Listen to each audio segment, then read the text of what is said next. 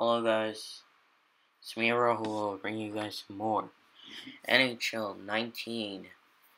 Uh, uh, not London Monarchs. Oh, that's bad.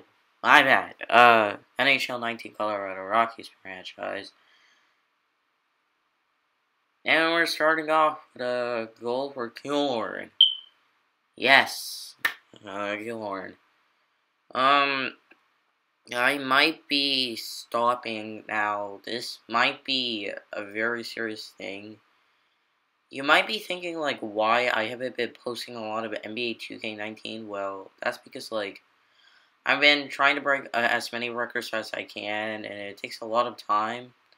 So, what I might be doing is ending the series and focusing on a new series. That does come forth with having to end my NBA 2K expansion series, which I have worked on very well, and it's really just an experimental series, and it's really fun. So I I, I do enjoy it, but at the end of the day, I'm not gonna enjoy uh, playing a game that a lot of people don't like. Well, in my opinion, because NBA 2K20 now is a lot more interesting than I could ever ask for because now they allow custom builds, and I want to try a build that nobody really thought thinks about because I want to try a Wilt Chamberlain build. Now you may be thinking like, what, Raul? Why in the world would you try a Wilt Chamberlain build? Or like, I'm not going to say I'm going to do a Wilt Chamberlain build. I'm going to say, like, a different kind of build. You may be thinking, why? Well, that is because if I do a Wilt Chamberlain build, I can rack up more rebounds than ever because that's just happens. As you could see, we're obviously getting uh, a power play. Also, it's the end of the game, so how come um, Subban got a shutout when we did? It's crazy how we're managing to do this in one season. Like, I never thought I could do that. It's really, it really makes me happy. It honestly does, so. Also, please be sure to drop a like and don't, don't forget to subscribe to ch this channel. Next up, we're going up, up against the Florida Panthers. Now, this, uh, well, uh, this game was really defensive. I never really had a game this defensive before, and it's crazy. So, yeah. It's not that hard to understand. It's especially not that easy to go up against a team like the Polar Panthers, who are surprisingly bad. Yet they're somehow, somehow and definitely good.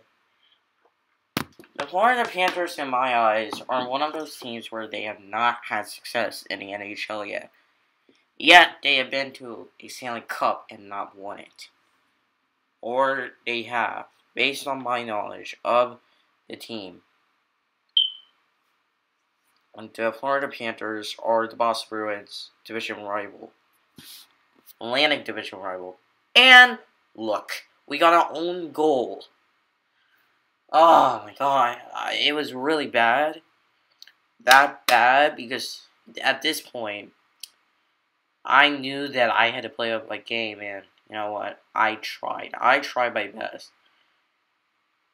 The problem was with the Florida Panthers is that they had an insane defense. And Gorgeous got us a goal. In the middle, with a slap shot, and we got it.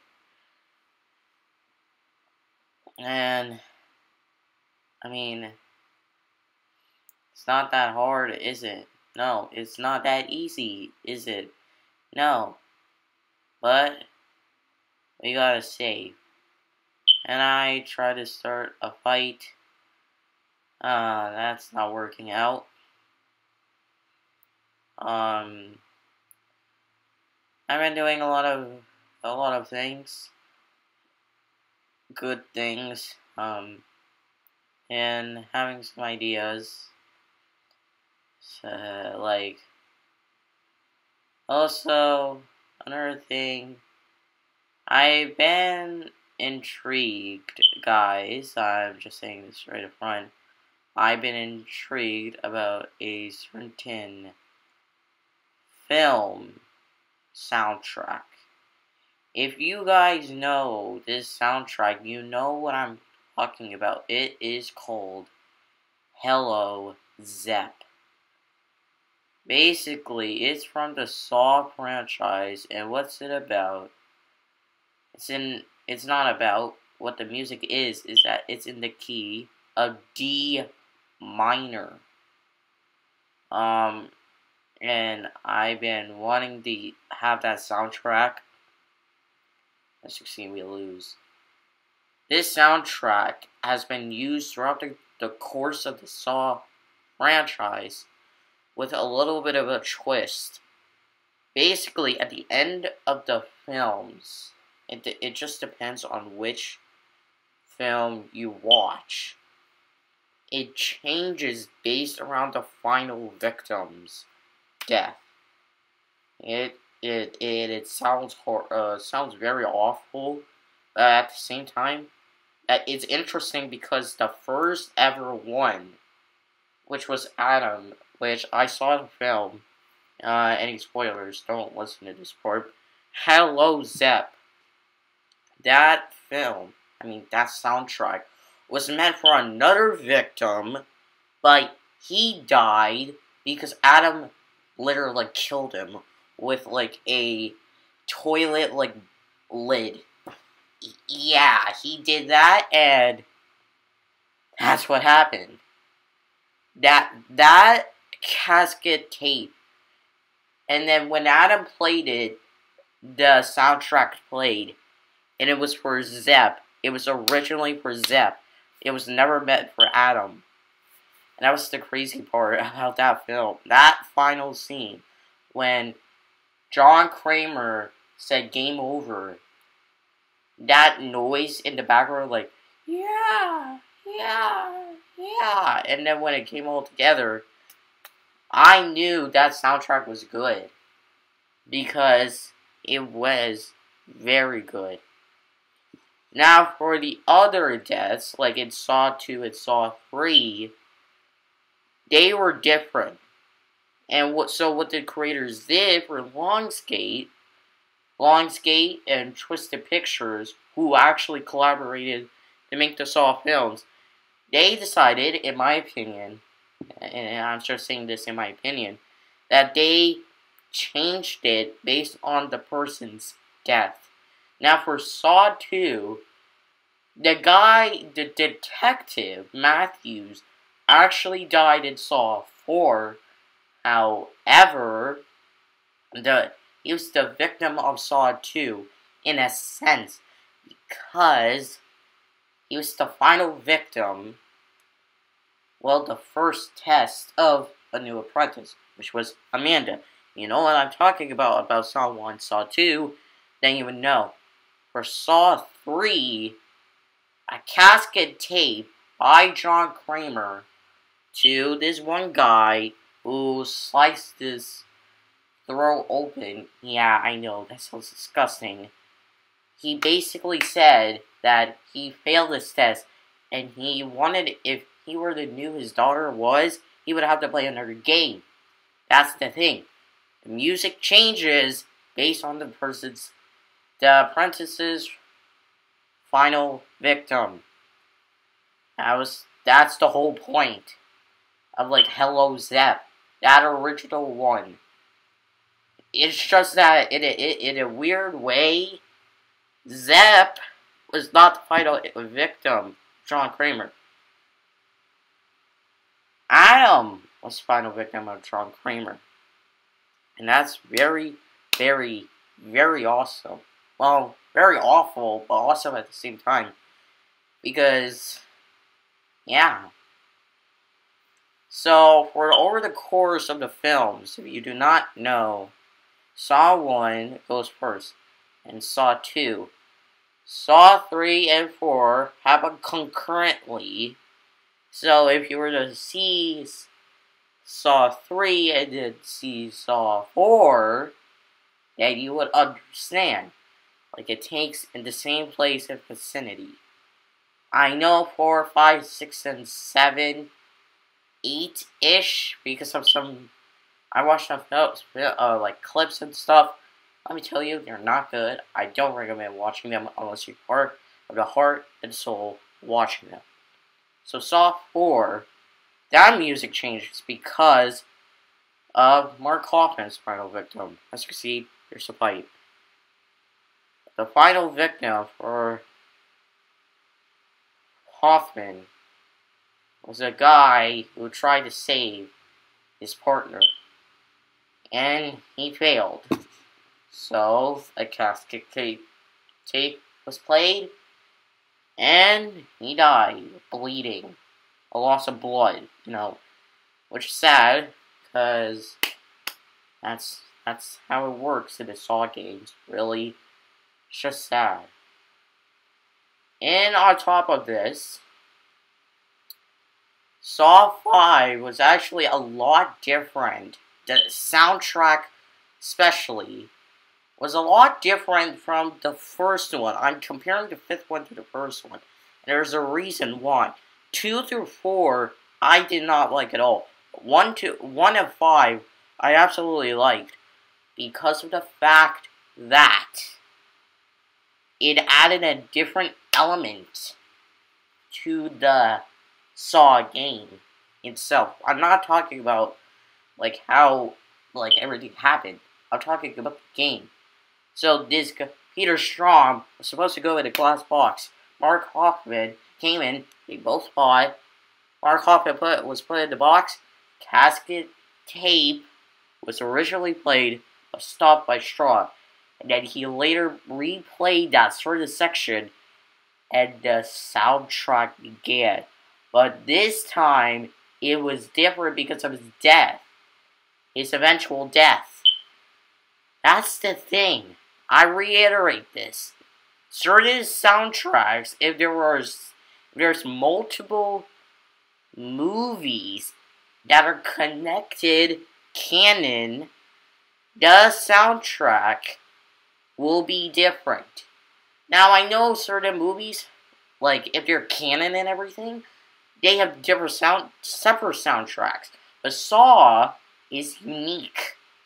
The film franchise because of the fact that they have the same soundtrack except for every single movie it is variant varianted just like with anything else you could do this for anything else for football they have Canadian and arena they have the same rule, well, different rules, but they have the same scoring idea. Except for Canadian. They have that one point thing. I don't know what it is. But anyway. They have the same scoring idea. A touchdown is six points. A, a free kick, well, a point attempt is one. A field goal is three. A safety is two points. And that's it. Well, there's that one point safety, but that's really rare. Erosion Canadian football is one point. A drop kick field goal in arena football is four points. That's the thing. There's different scoring methods, but the basis of football is the same. There's 9 on 9 football, that's rarely use. 8 on 8. Flag football, but they have the same rules. That is the same thing, the idea of the analogy that's used for Saw, what I'm trying to say. The soundtrack is different based on the person's death, the final victim on the person's death for every single one of the films. Now, this upcoming film that I'm going to talk about is called Spiral. Now, here's the thing that I need to tell you guys. It is not well, you can interpret it as a canon. It is canon-ish. However, it is not a sequel to Jigsaw. Number one. Number two, it is not a reboot. So, we're going to have to consider, literally everyone, it is gonna be a spin-off for any new members. Also, it is going to come out March 16th. I will want to watch this because I'm a fan of I I'm a fan of Saw franchise. If you do not know. Also, another thing is, I know I'm talking about this on my channel. I don't really talk about this, but well, about gruesome topics like killing and stuff like that. But well, that's true. But at the end of the day, it is part of the movie. But the thing is, is this this movie has a very clear point. Like, it, like, goes into the depths of mental health, which I'm really, like, curious about because, well, it's very objectifying and subjective in certain areas, but it has an ideology that I do not like. That everybody has to be rehabilitated, rehabilitated, rehabilitated one, like, every single person has to be, like, changed one step at a time. However, to John Kramer's idea, it has to be through physical, mental, emotional torture. That is not right. I do not see that happening in real life. There are speculation, well, as far as I've heard from my mom, that it is based on a true story. If that is true, oh my god, what? I do not believe that. You can say what you want about me watching Saw 2, the first one, second one, and the third one. But I was only thinking about the storyline and the mental health aspect about it. Reason why is because the except for the deaths, okay, which I do not like because it's very, you cannot really watch it because like it's a trap and, oh my god, it's really like sad to talk about, but like, I do not like how, well, I wish it was GCI, okay, generated, like, it was like a computer version of it uh, for some reason, this saw like Lionsgate twisted pictures decided to make it real life. It's really scary. It really is because if that thing is put on you, you do not know what to do. It's really scary. Ah, it's really scary. So like, I don't know what to say. But guys. I'm sorry for talking about this, about the Saw franchise. Hopefully YouTube does not age restrict this, but also uh, wreck my channel. So, yeah. I do want to say one thing about the Saw. Like, when I watched Saw 1, 2, and 3, I, I was fascinated about how the mental health aspect was so very, very, very like different.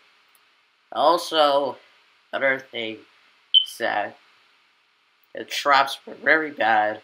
Not like any of them. Uh, like if for a, every film, like the traps are bad. I didn't like I didn't like any of the traps.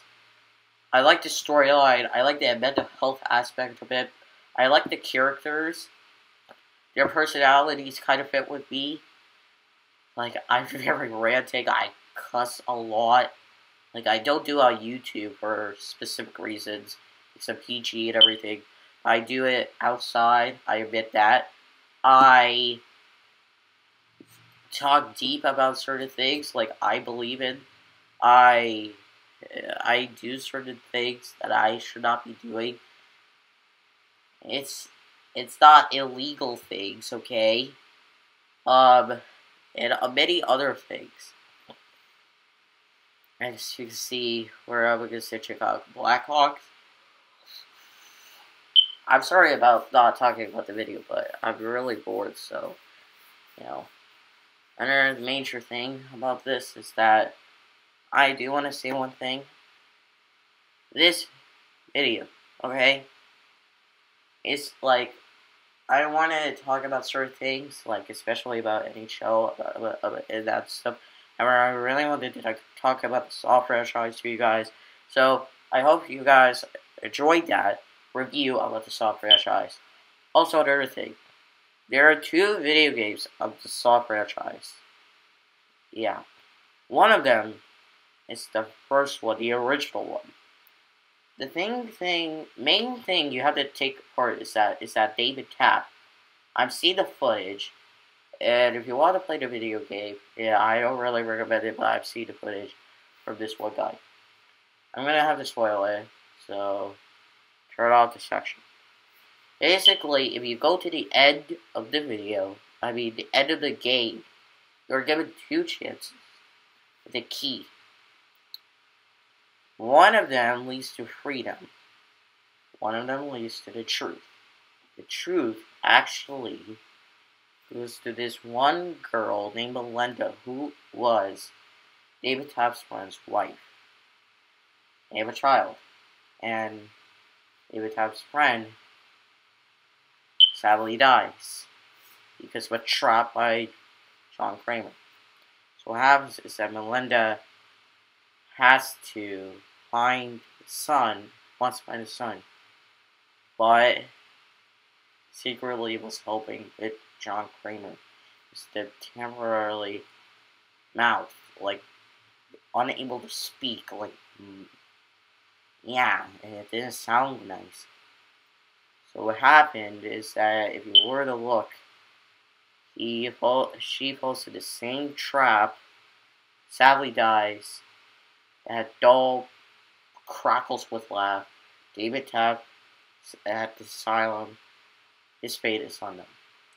But if you were to go to the Freedom one, it's known that David Tapp sadly passed away because of um because of something. I don't know, it's something. That the Freedom one is canon, which is actually surprising because then this video game, except for the truth part, is canon in the Saw franchise with Saw 1, then Saw the video game, and then Saw 2. Which makes sense, actually. So then, what happens? Is that they decided to make another video game. It is called Saw 2 Flesh and Blood. What is interesting about this, is actually pretty strange, is because there are two endings However, you have to achieve the endings in the beginning of the game, except this one guy. You either blood, uh, the path of blood or flesh. The way you achieve the path of blood is that you have to survive a certain trap, and then the at the end of the game, Tapp's son has to die, which is really sad, and then you find out about the ending for the path of blood flesh, the guy at the beginning of the game has to die, and then the son has to survive.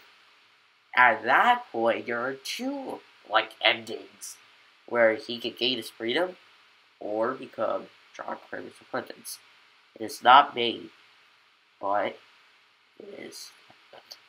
Um, and both of those games received bad like crit- critics, and I don't support them though I watch the game.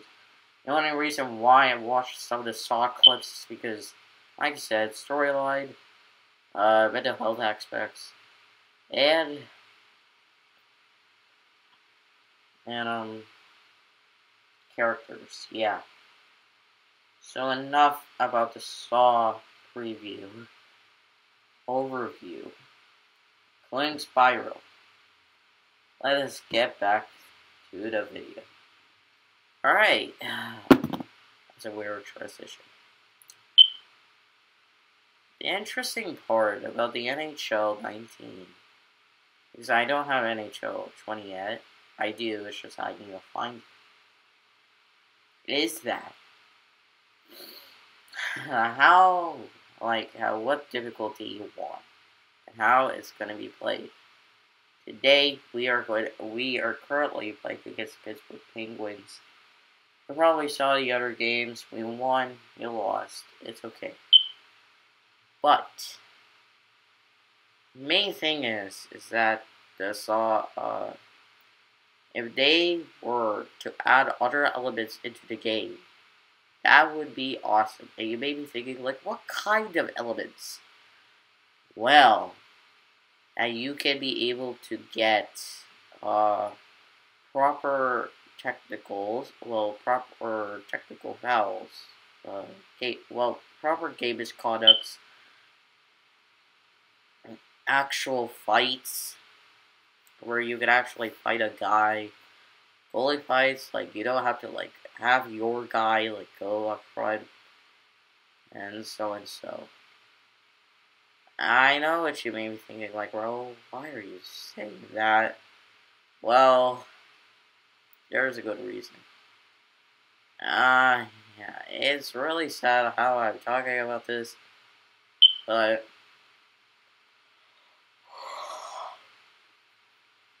uh, I do like the fact that how we are able to get a different kind of vibe throughout this game. It really is. I do like um, some of the certain games that we're playing, some of the certain series, some of, some of the certain everything. It really is.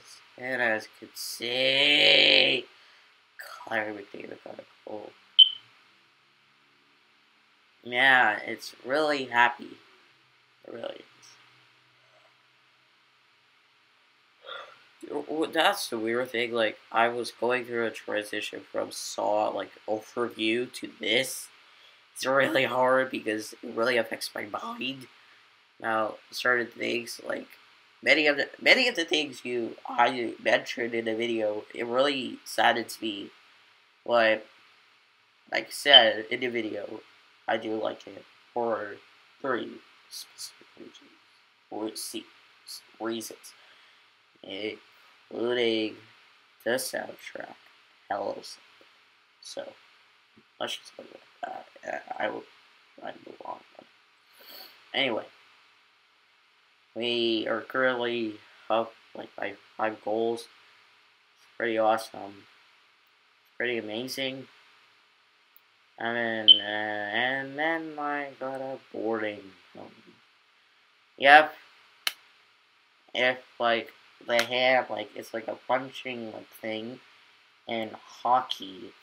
It is a warning penalty. Now, if you do not know, it might be a pro series for um, my center number 11 Rahul. I told one time that I got a game misconduct. Here is how I got the game misconduct. Okay. So one time off camera, I was playing the Ottawa Senators. That's true. And then I got a boarding penalty. Or interference, it is uh, either one. Yeah, actually, it might be interference. Yeah, interference. So then I got into a fight. I think I won. Actually, I, I won. Yeah. And then I gotta make game misconduct. So yeah, I got yeah. So anyway, thank you so much for watching. Y'all are just my podcast for me. I will see y'all in my next video. Peace.